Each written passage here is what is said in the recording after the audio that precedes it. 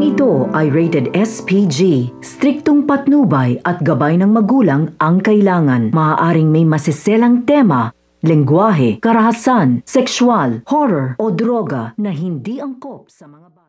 Welcome back mga ka-episode Plus at narito mga dapat nating abangan dito nga lang sa Stolen Life kung saan sa masayang pag-renew ng uh, pagkasal nga nito ni Lucy at nito ni Darius ay dumating nga ito si Farah upang sabihin nga na buntis nga raw siya.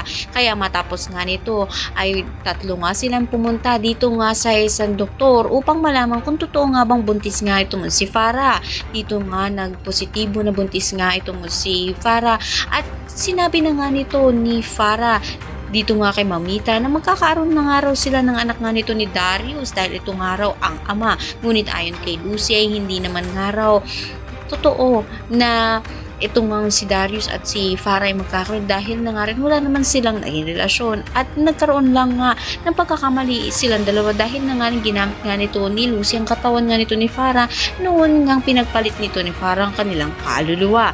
Ito naman ang gagawin din nga nito ni Farah upang pang-blackmail sa mag-asawa. Ngayon nga buntis ka ito nga si Farah. Ito naman nga ang gagamitin nga niya upang i-control nga ito nga si Darius dahil itong gagamitin nga niya ng kanyang panlaban dito nga kay Lucy na kapag nga hindi siya pinanagutan nga nito ni Darius ay kanyang ipalalaglag ang anak nga nito. Kaya naman pakatutukan nga natin kung ano nga bang kahihinat na nito ang lahat